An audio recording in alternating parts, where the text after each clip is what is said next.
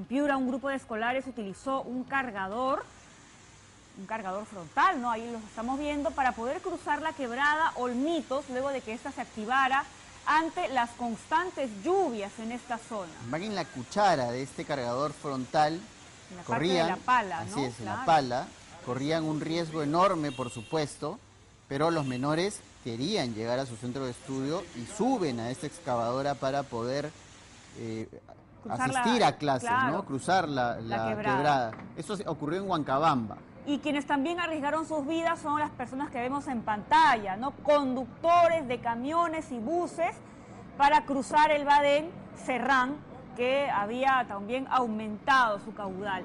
El agua llega a tapar las llantas, Paco, ¿no? Y el problema de pasar por esta zona es que uno no sabe qué cosa puede haber allí escondido en el agua. Puede haber un hueco, puede haber un desnivel. Puede haber ocurrido que, que el agua se haya llevado el asfalto, ¿no? Lo que produce que el, que el auto se atasque o se voltee.